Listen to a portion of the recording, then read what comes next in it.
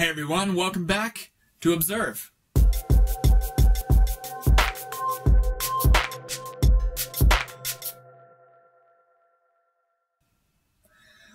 Okay, so today we're going to go ahead and talk about something that I like to call flash memory. I covered it in a previous episode.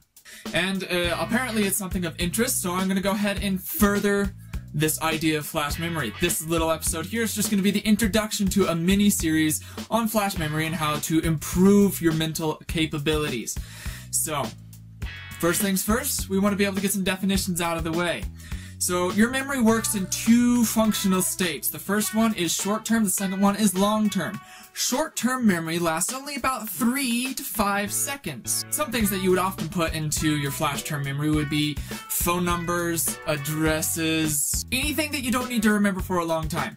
Now that we have cell phones, we don't really need to remember that, so it just goes into our short-term memory. Earlier I said flash-term, I meant short-term. My bad. However, that being said, that is that is your short-term memory, and since it only lasts three to five seconds, something that people often do to prevent themselves from forgetting this this information is to repeat it over and over and over again until they use that information and then it goes away. Now your short-term memory is actually super super necessary because if everything stayed into your long-term memory, then you never forget and I could actually cover in another episode, if you're interested, the science and the, the philosophy behind why we forget something. It is actually really cool, but I won't cover that here, so in your flash term memory, it only lasts 3 to 5 seconds and then it's gone. Now, the other side of this coin is your long-term memory, which long-term memory can actually last anywhere from a, an hour to years.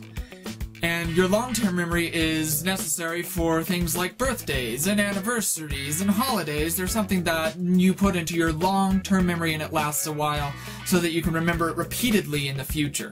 That's long-term memory, and like I said, if you don't want to be overwhelmed with too much information, then you're going to need your short-term memory. However, it takes a lot of work to be able to put things into your long-term memory, to store information in there.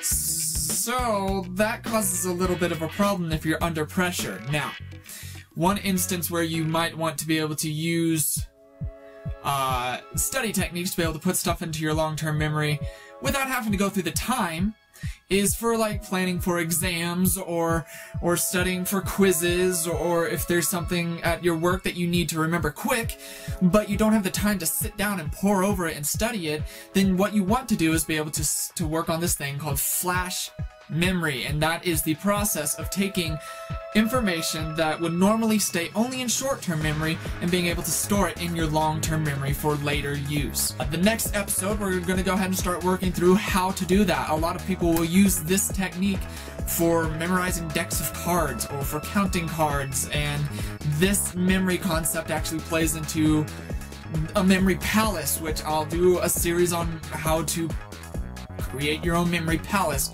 like Sherlock Holmes or Patrick Jane, or yeah, those are about the only two that use a memory palace that I can think of.